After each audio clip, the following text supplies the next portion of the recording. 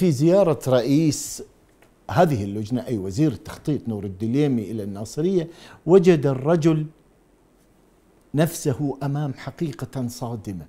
عبر عنها هذا المواطن. نتابع.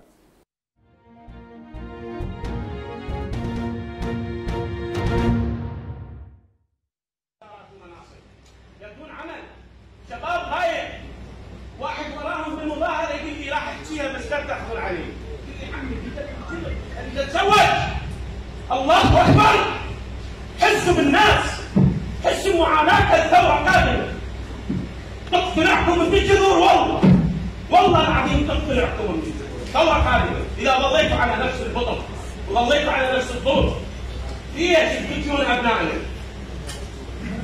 سيد الوزير. ليش تقتلون ابنائنا؟ أنت وين تدرس بيا لندن وبيا جامعة؟ وابننا وين يدرس بالمقبره بالفتحه الخامسه؟ ليش؟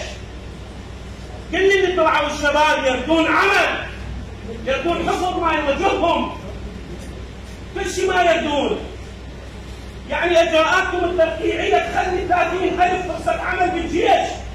تعدون أولادك تودونهم للجيش. واولادكم تعينونهم بالسفارات والوزارات والقنصليات داعش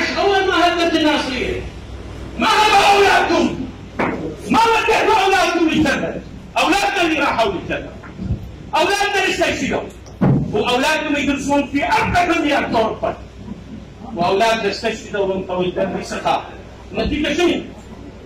كل النتيجة؟ نتيجة مزيد من الفقر.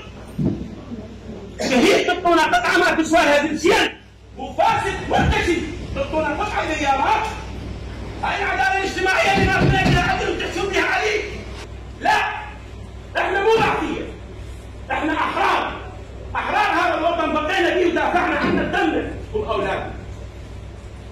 القانون بيننا وبينكم أكو فرق شاسع. فرق شاسع. اثنين صمودنا بوطننا وحميناه دم قلوبنا وأنتم كنتوا بلدك تربعون وأخذتوا عن لندن. وسيدي ما تدخلون الخدمة الجهادية. وأعطيتوا نفسكم امتيازات ما أنزل الله بها من سلطان.